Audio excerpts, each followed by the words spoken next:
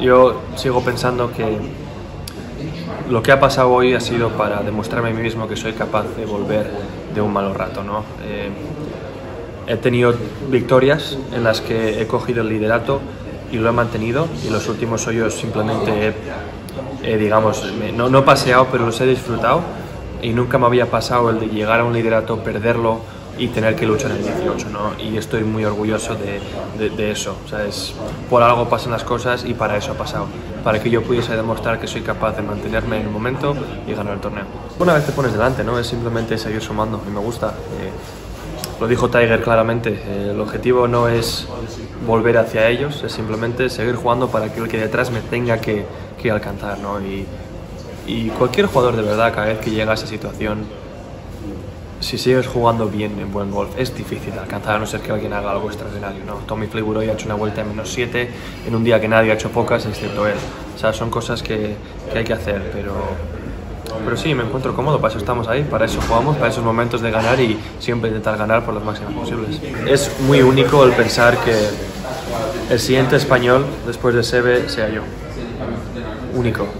Eh, y la humildad que me demuestra, porque el hecho de que jugadores como Chema, dos veces campeón de Masters y muchos torneos del European Tour. Sergio, ganador del Masters y muchos torneos del European Tour.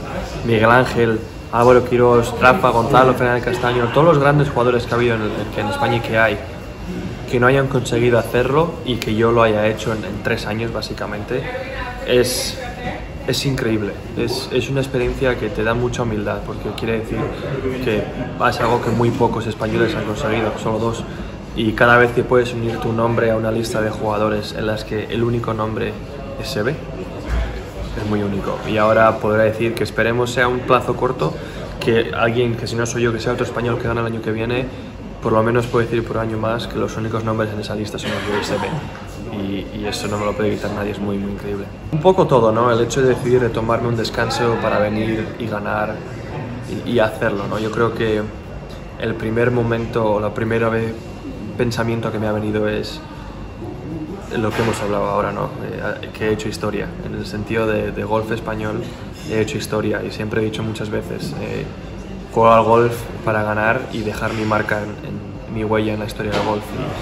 Y, y es un paso adelante en ese sentido, ¿no? Y, y, era muy consciente de ello cuando, cuando tiraba el pat antes de que entrase, pero cuando, lo, cuando hay dentro la alegría de ganar, pero el hecho de que sabía saber que yo y Sebe somos los únicos en ganar este trofeo que tengo detrás y, y, eso no me lo va a quitar nadie, la verdad.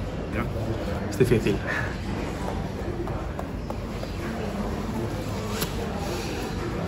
La Raider va a ser difícil de mejorar, voy a ponerla por todo lo que, lo que ese pad del 17, eh, la importancia con, con mi tite que tenía y esa memoria que me vino, no va, pocas veces yo creo que va a ser muy difícil superar un momento más bonito que ese, eh, pero sería ese Luego este, porque esta historia es, sé que hice historia en España, pero está comparado en el, en, a nivel de golf europeo eh, hoy y luego el Open de España, ¿no? Aunque me gustaría decir que los tres están muy muy cerca de uno del otro. Eh, a nivel mundial, a nivel de golf europeo, es, este pesa un poco más que el Open de España. Me gustaría decir que el Open de España, ¿eh? pero eh, y porque es un torneo que es muy importante para mí y pude defender, pero, pero hoy es, algo que es la magnitud de esta semana es mucho mayor.